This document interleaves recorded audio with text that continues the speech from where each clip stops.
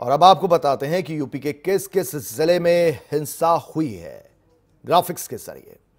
तो ये देखिए, इन जिलों में हिंसक प्रदर्शन हुए। अमरोहा, गोरखपुर, बुलंदशहर, गाजियाबाद, बिजनौर।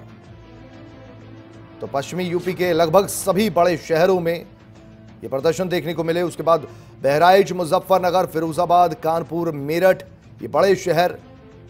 इन सभी शहरों में ये प्रदर्शन देखने को मिले। लेकिन हाथरस हो, इसके अलावा और लखनऊ तक ये बवाल थमता नज़र नहीं आया। कानपुर में भी आज प्रदर्शनकारी सड़कों पर उतरकर उग्र हो गए।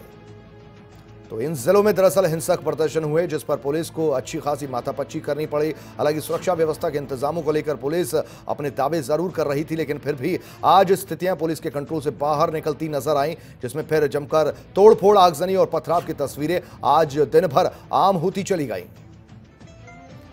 कुल मिलाकर इन जिलों से हिंसक प्रदर्शन सामने आए हैं, लेकिन ईस्टर्न यूपी से भी बहुत से शहरों से गोरखपुर की बात की जाए तो यहाँ से भी प्रदर्शनों का दौर देखने को मिला और यहाँ पर भी पुलिस और प्रदर्शनकारियों के बीच झड़प हुई। पथराव भी यहाँ पर देखने को मिला। हालाँकि कुल मिलाकर पूरे गोरखपुर में स्थितियाँ सामान्य ही रही।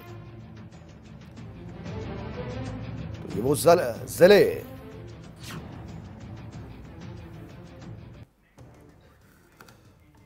और इन जिलों में आपको बता दें, इन जिलों में इंटरनेट की सेवाएँ बाधित कर दी गई, बंद कर दी गई, क्योंकि कोई बड़ी अनहोनी ना हो, अफवाहों का बाज़ार गर्म था।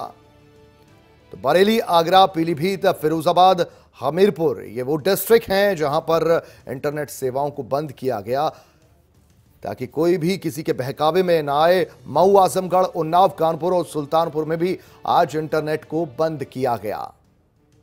स्थितियाँ बता रही थी कि इंटरनेट अगर रहता, चालू रहता, अफवाहों का बाज़ार और गर्म हो सकता था। और यही वजह है कि एहतियातन इंटरनेट को बंद करना पड़ा।